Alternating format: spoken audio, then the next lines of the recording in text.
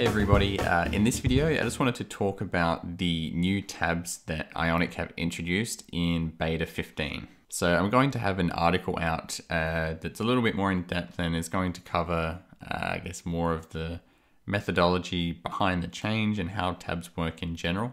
Uh, but I wanted to film this video just to go through a quick example on screen that shows the differences between the two approaches. And so I've got one of my example applications from my book on screen now. And so I've got the pre-beta 15 code here, as well as the new code required for tabs after beta 15. So for the changes that have been introduced, uh, the only thing we actually need to change is the template with the uh, tabs. And it's a reasonably uh, minor change as well. Uh, if you have all your routing already set up for a tabs layout, which might look something like this, uh, you don't need to worry about changing that. And so if we look at the old version of the tabs here, uh, we can see that we have everything surrounded in an ion tabs component, and then we specify each of the tabs that we want, and then each of those tabs have their own router outlet. And so all we need to do to create our tab is we give it a label, uh, which will provide a little title for the tab, and then we say what icon we want to use for the tab, as well as what it should link to. Now to migrate to the new tabs, uh, it's going to look more like this. So we still have everything surrounded in uh, an Ion tabs component, and we still also define uh, all of our tabs with Ion tab here, and we still have the router outlet in there as well. So uh, it's kind of exactly the same as what we already have here, except we're, uh, we're removing the icon, the label, and the href, and instead we uh, just use this tab attribute instead. I'm going to come back to that in just a little bit. Uh, but as well as defining those tabs now, we also have to define a set of tab buttons. And this is kind of the basic idea behind these changes. Uh, it's separating out the, the tabs from the actual uh, interface for the tabs, the buttons. And the point behind this all is that it's going to provide us with a lot more control over how we use these tab buttons. Whereas previously it was very tied into the tabs themselves. It was heavily integrated with what's going on behind the scenes in terms of navigation. Now it's just kind of this generic uh, tab button uh, UI that we can link up to tabs. And so we can continue using exactly as we were before, just as uh, tabs to control the different, uh, activate the different tab views. But if we wanted to, we could now also use a tab bar and the tab buttons in a different uh, circumstance if we wanted. It doesn't specifically have to be tied to a tab to navigation view. And as well as this, uh, we can also have greater control over how we define our tab buttons. So whereas before we just had to supply the icon and the label, now we can just add whatever we want inside of here.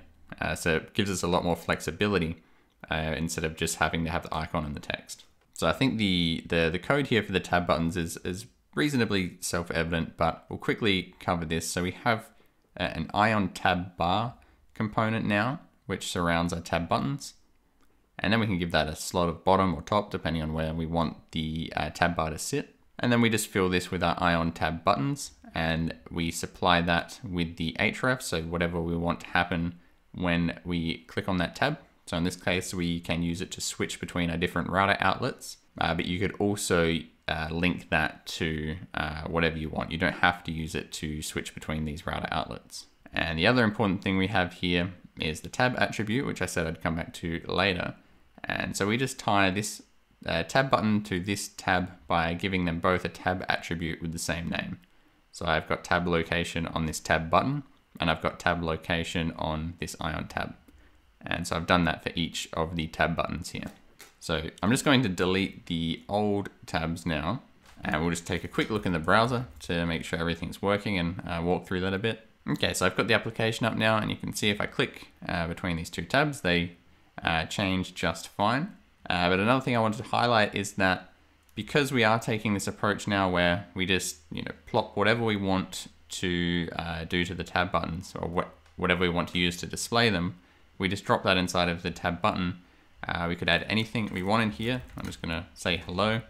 Uh, this is going to look bad, of course, but you can see now in this camp details uh, tab here. It says hello camp details.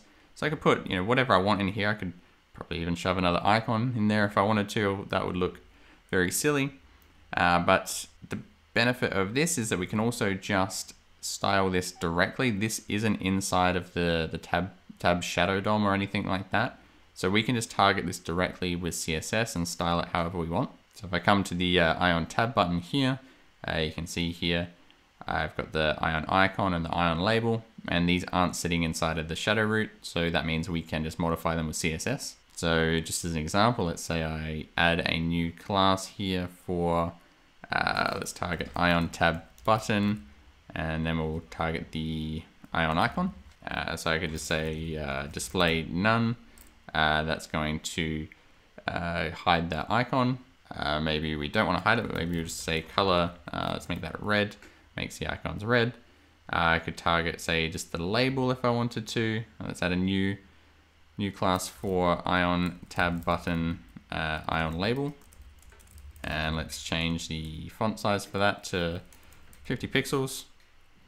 And now obviously that text is massive and it looks terrible, uh, but you can see that you know, we can now modify these very easily.